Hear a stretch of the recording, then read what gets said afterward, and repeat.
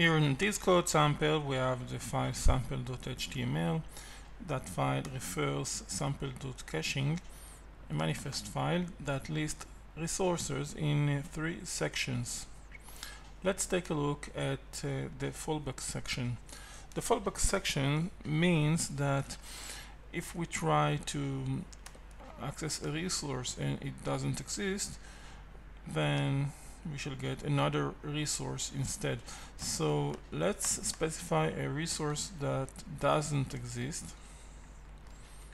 3.html now let's try to access that resource. But first um, let's browse sample.html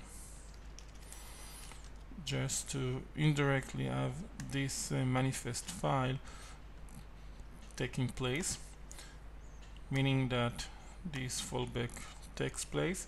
And now let's try to access uh, 3.html as you can see given that 3.html doesn't exist we got 2.html instead